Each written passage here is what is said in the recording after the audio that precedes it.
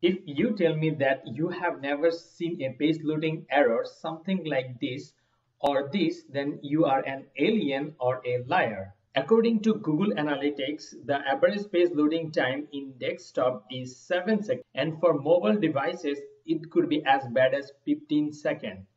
Now, what actually we are getting for a site? And for an average website, we are loading 1.6 megabyte of resources with 95 different requests to the server. And if we look into the type of resources, image is the highest content and it is 61% of everything we are loading in the browser.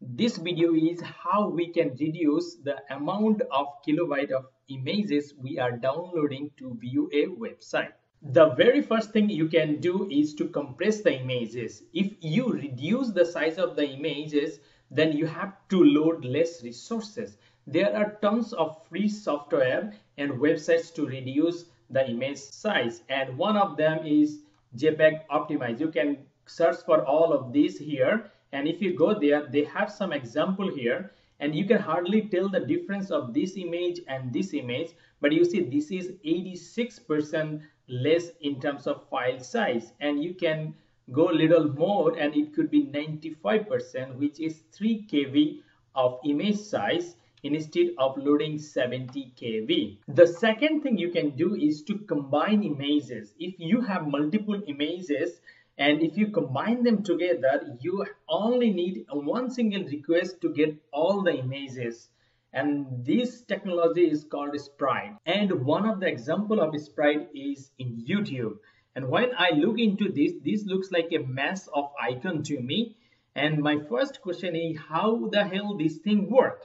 And the answer to this question is they just have one single background image and define a position so they have this opening for example 20 pixel by 20 pixel and tell you that from left it is for example 200 pixel and from top 200 pixel.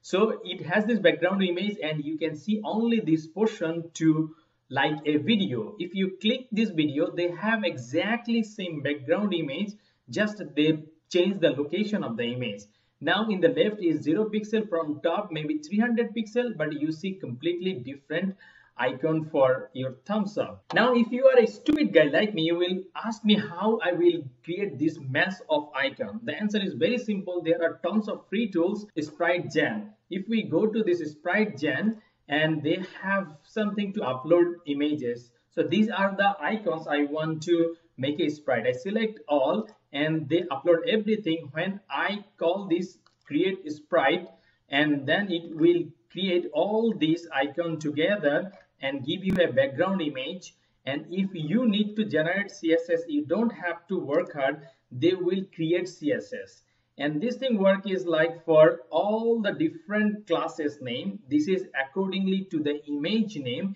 they define the background position and the width and height of the image and every single class has the one background image which they defined is a tmp.png you can change it later the third thing you can do, you can cache the images and you can cache in the browser. That means browser will keep a local copy of the images. So whenever the images is requested, then it will not go to the server and ask for the resources. It will serve the images from the cached images.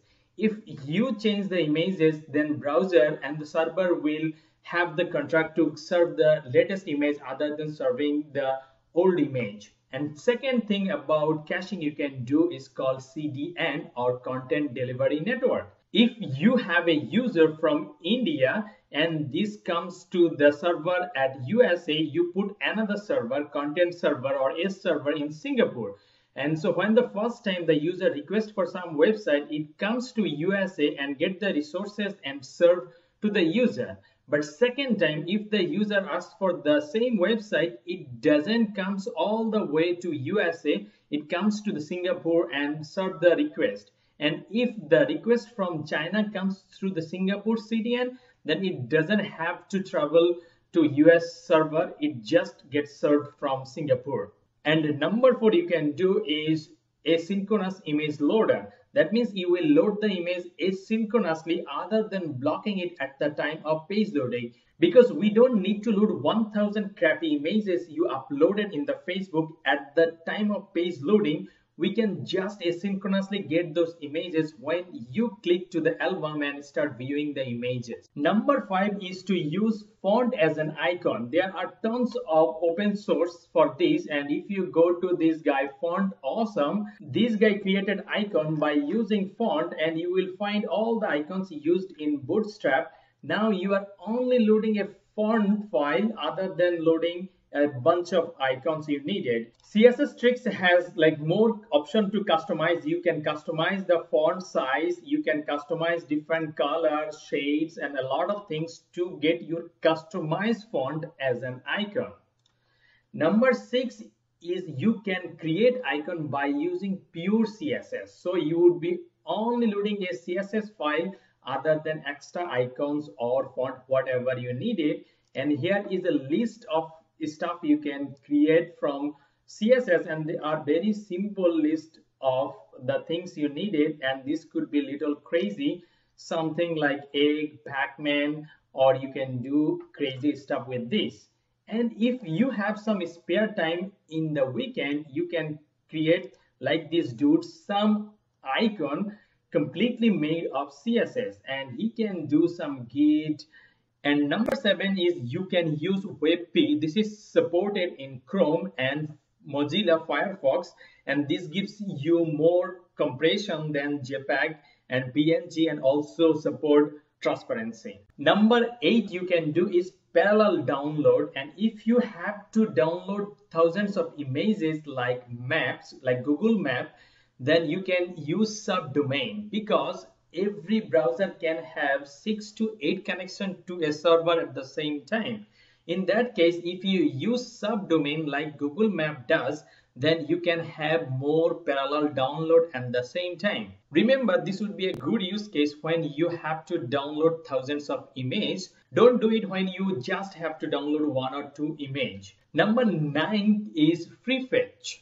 And this is a good use case for Picasa. What they did, when you are viewing an album, they don't download every single images in the album. Rather, when you are viewing an image, they start downloading the next image so that when you click the next image, the next image is already downloaded and ready to view. For mobile devices especially, you can think about alternative of images like using drop shadow, gradient fill, and Bootstrap 3 did an excellent job where the rendering time is improved significantly when they're using some CSS properties to create shades for buttons. And for mobile devices, if you are crazy, you can use data URI, that is the content of image in an element tag, so that your image is loaded with the content itself, or you can do something called SVG. That is scalable vector graphics that will create the icon itself and you can resize the image without losing the precision of the image. These are the 11 different things you can do to reduce the content of image you are downloading for a website.